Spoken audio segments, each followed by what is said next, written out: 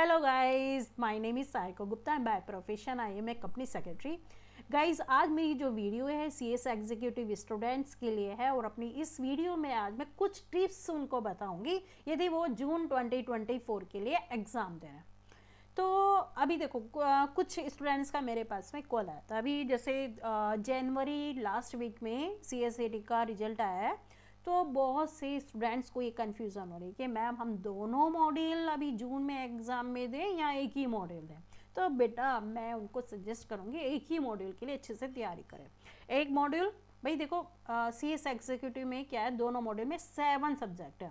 तो अब एक ही मैं सब्जेक्ट की बात करूँ तो कम से कम बीस इक्कीस चैप्टर है। तो भैया इतना तो कवर नहीं कर पाओगे। तो एक मॉड्यूल दो अभी और फिर दिसंबर में दूसरा मॉड्यूल देना। तो ये आपके लिए बहुत ही बेनिफिट होगा। अच्छा अब आ जाओ हम। चलो ठीक है, ये आप लोगों को डिसाइड करना है। दोनों मॉडल देना है या एक मॉडल देना है? अब आ जाओ टिप्स क्या आपको करना है? सबसे पहले तो एक टाइम टाइम टेबल बना लो अपना। आप एक मॉडल दे रहे हो ऑब्वियसली फ़र्स्ट मॉडल दो, क्योंकि उसमें थोड़ा सा कंपनी लोग का बेसिक सब चीज़ें आपको पता चलेगी सेकेंड मॉडल पहले मत देना, पहले फ़र्स्ट मॉडल देना। बेसिक चीज़ें आपको पता चल जाएगी।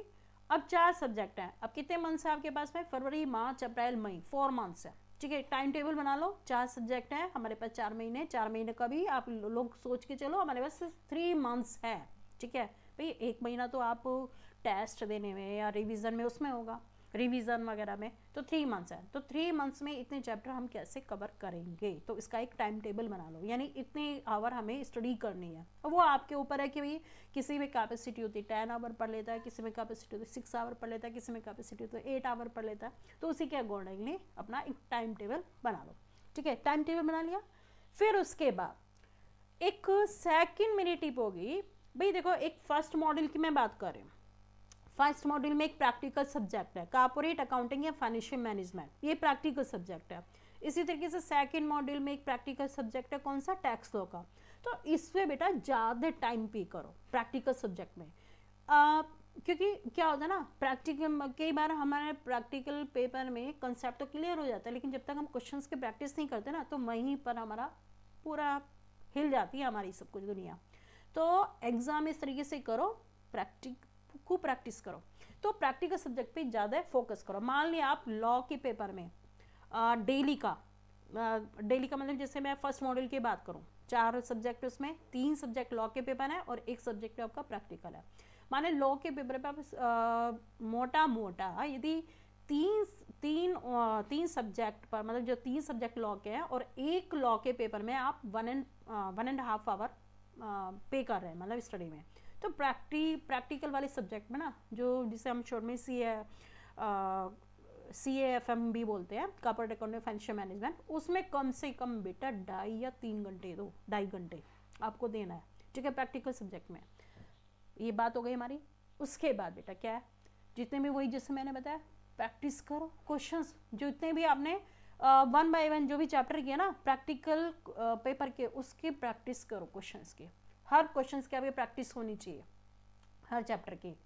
अच्छा अब लॉ के पेपर पे आ जाओ। लॉ में जितने भी सेक्शंस हैं, उनको मेमोराइज रखना है आपको। सेक्शन को तो मेमोराइज रखना उनके प्रोविज़न को भी। भाई अब ये जो है ना सी एस एग्जीक्यूटिव का पेपर ऐसा नहीं है कि सी एस एग्जीक्यूटिव मतलब जो बी कॉम बी कॉम के तरीके से है हाँ ठीक है फाइव मार्क्स का क्वेश्चन है, आपने लिख दिया, कुछ भी कहा नहीं, मिल गए नंबर फोर या थ्री नंबर मिल गए, नहीं, ऐसा नहीं होगा। यहाँ पे आपको पॉइंट टू पॉइंट आंसर देना होगा। सेक्शन लिखो। पूरे टिप्स पे होने चाहिए सेक्शन नहीं है माने बाई चांस एग्ज़ाम में आप लिख रहे हो, नहीं याद है तो मत लिखो सेक्शन ठीक है? गलत नहीं लिखना। हाँ जो सेक्शन है उसका प्रोविज़न क्या है, वो भी आपको पता होना चाहिए। ठीक है? ये पूरा अच्छे तरीके से मेमोराइज करो। नेक्स्ट नेक्स्ट क्या? जैसे आप एक चैप्टर पढ़ो, उसके शॉर्ट नोट्स बना लो। ठीक है? शॉर्ट नोट्स बना लिए।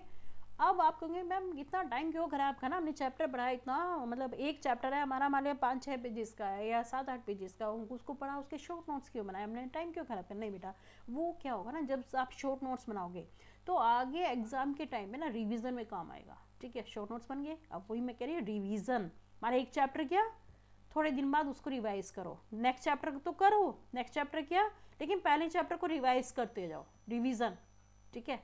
तो थोड़ा सा मेरी ये टिप्स थी बेटा आप लोगों को सी एस एग्जीक्यूटिव स्टूडेंट्स के लिए। होप है कि आप लोगों ने भाई कुछ समझ में आई होंगी मेरी टिप्स उसी को फॉलो करोगे। चलो, आगे फिर बेस्ट ऑफ़ लक और नेक्स्ट वीडियो मैं लेके आऊँगी जल्दी, ठीक है?